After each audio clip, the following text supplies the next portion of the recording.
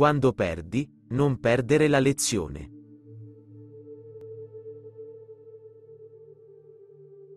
La soluzione al problema della sovrappopolazione è più monaci.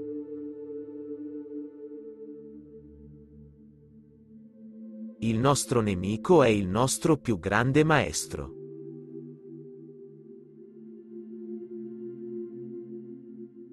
Non si raggiunge la pace passando per qualsiasi altra causa.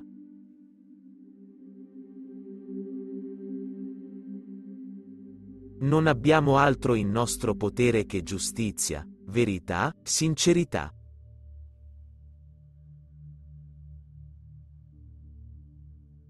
Non credo che la religione sia indispensabile per la vita spirituale.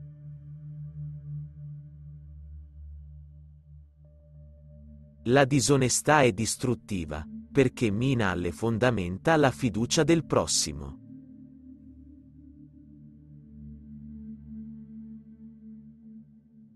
Dobbiamo imparare bene le regole in modo da infrangerle nel modo giusto.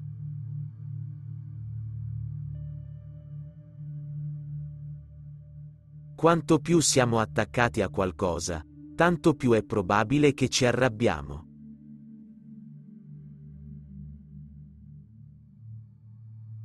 Una risposta decisa ma priva di rabbia è più corretta e più efficace.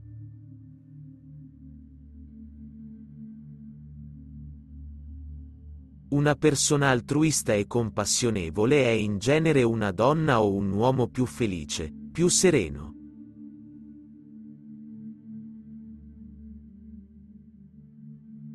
Dona a chi ami ali per volare, radici per tornare e motivi per restare.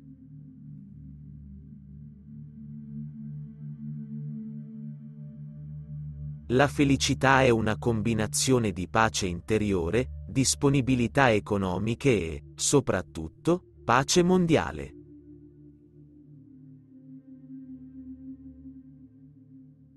Laddove l'ignoranza è la nostra padrona, non c'è possibilità di vera pace.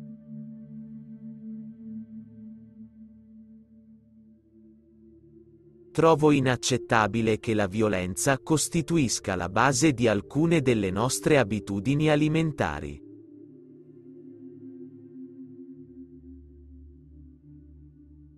È lo stato d'animo, più che gli avvenimenti esterni, che determina la fortuna.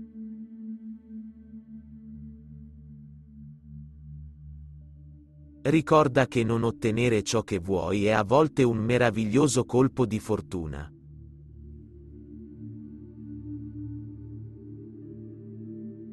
Se vogliamo costruire la pace nel mondo, costruiamola in primo luogo dentro ciascuno di noi.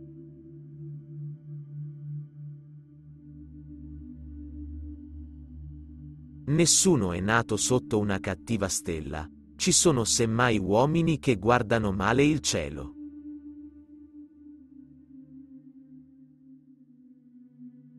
Il mondo è fatto di cose buone e cattive e ciò che noi recepiamo come realtà è in larga misura un parto del nostro spirito.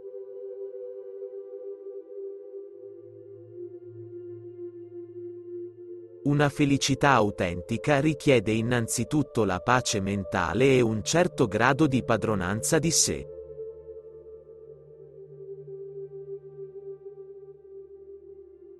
Giudica il tuo successo da ciò a cui devi rinunciare per poterlo ottenere.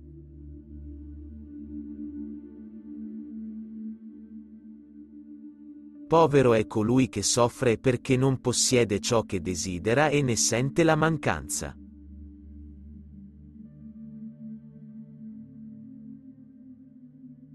Se vuoi che gli altri siano felici, pratica la compassione. Se vuoi essere felice tu, pratica la compassione.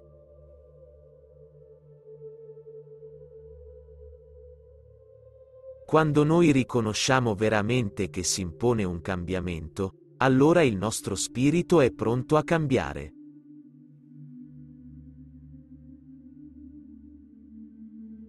L'essenza della compassione è il desiderio di alleviare la sofferenza degli altri e di sostenere il loro benessere.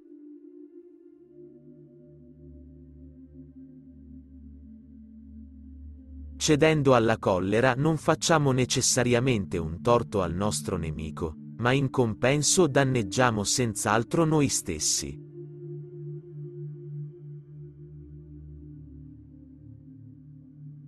L'amore totale si fonda non sull'attaccamento, ma sull'altruismo, che costituisce la risposta più efficace alla sofferenza.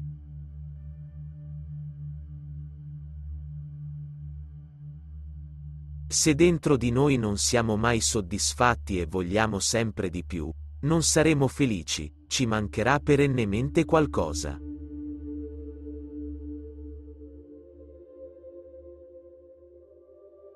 L'educazione, la gentilezza, la pazienza e la compassione sembrano spesso essere state parte solo di un nostro passato mitico.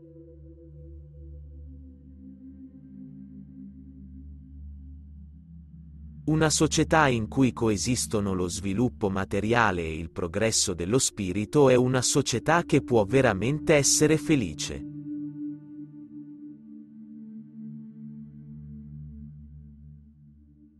Pensieri e azioni negativi producono risultati e condizioni negativi, così come pensieri e azioni positivi producono risultati e condizioni positivi.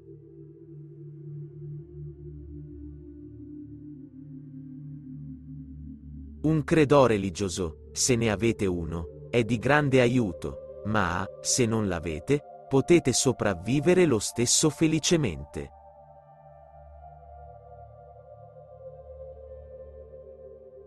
Non sovrastimare mai il tuo potere di cambiare gli altri. Nella pratica della tolleranza, il proprio nemico è il miglior insegnante.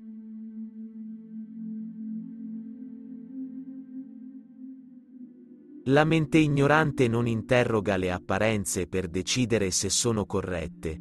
Essa accetta semplicemente il fatto che le cose sono come sembrano.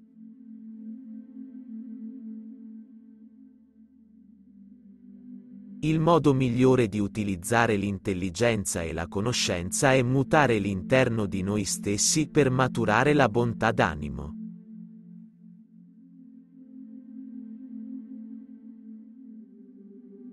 Un modo efficace per combattere l'angoscia è preoccuparsi meno di sé e più degli altri. Quando davvero comprendiamo le difficoltà degli altri, le nostre perdono di importanza.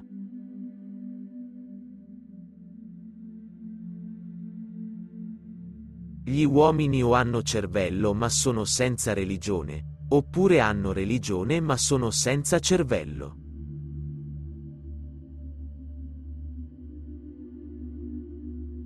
Dobbiamo usare tutte le opportunità di praticare la verità, di migliorare noi stessi, invece di aspettare un tempo in cui saremo meno indaffarati.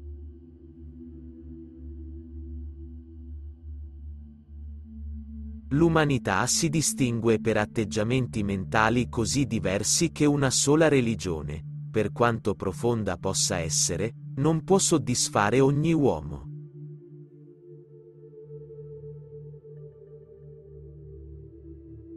Una politica priva di etica non incrementa il benessere dell'umanità. Un'esistenza priva di morale abbassa gli esseri umani al livello degli animali.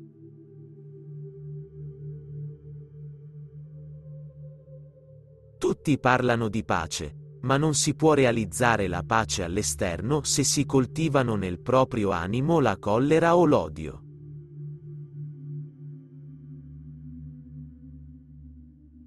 Noi viviamo molto vicini, quindi il nostro scopo della vita è aiutare gli altri. E se non potete aiutarli, almeno non fate loro del male.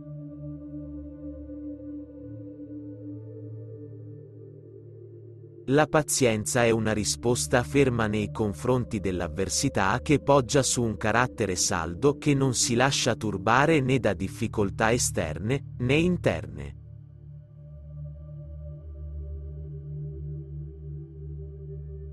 Maggiore sarà la nostra calma mentale, la nostra tranquillità d'animo, maggiore risulterà la nostra capacità di condurre un'esistenza felice e gioiosa.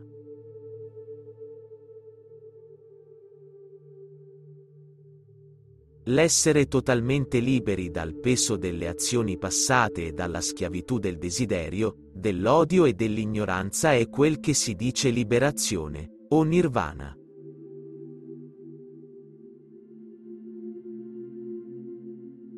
La disciplina mentale non richiede alcuna credenza o fede, ma soltanto la presa di coscienza che lo sviluppo di una mente più calma e limpida è un obiettivo nobile.